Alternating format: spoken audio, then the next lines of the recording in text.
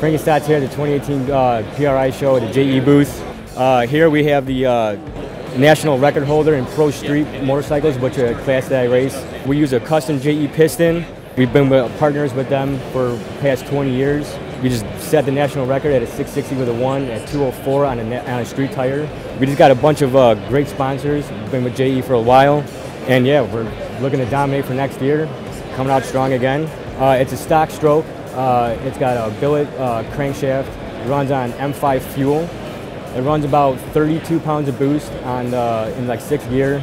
Makes roughly around five to 600 horsepower in that range. It runs on a street tire. There's certain uh, limitations you can do as far as wheelbase, weight, uh, and stuff like that.